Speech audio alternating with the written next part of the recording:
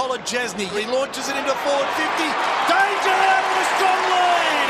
Contender for Helen Holmes. One, two, three. Grab of the Knights. Hutchison's round forward. And Dangerfield's level it up. Into space. Stewart and Franklin are one on one. Stewart in front. Palmer to his advantage to Guthrie. Guthrie then just banged it for space. Cats fans, have a listen to the roar at the MCG. Stewart kept running. He's done a marathon off halfback.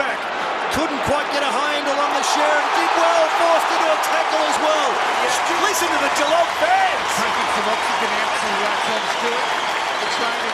Handball up. Snap over the shoulder by Bews. Inside 50. Dangerfield! Hamlin Hanger contender! Over the top he comes. 45 degree angle, 35 from goal. Paddy's got four. Margin is again six goals. Managed to evade the tackle. Now Blicavs comes past. He gives inboard to Parsons. Parsons steps around a couple. He goes to Zach Guthrie over the top again. Motlop can finish this at the city end, and he does.